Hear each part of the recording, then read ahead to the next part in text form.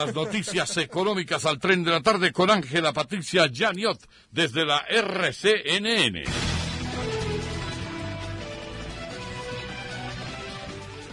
Muy buenas tardes y bienvenidos a las noticias económicas. Aunque yo cobre caro, se cotiza en alza el deporte nacional. El producto colombiano es lo in, aunque las filas digan lo contrario.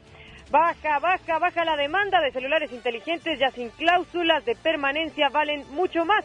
Pero usted puede ser el Nairo Quintana de la telefonía móvil haciendo tour de operador en operador.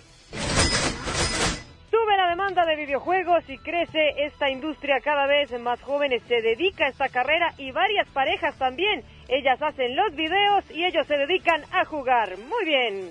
Baja el ERPO. Sí, señores, el ERPO baja, baja, baja, sube, sube la tensión en el Congreso de la República.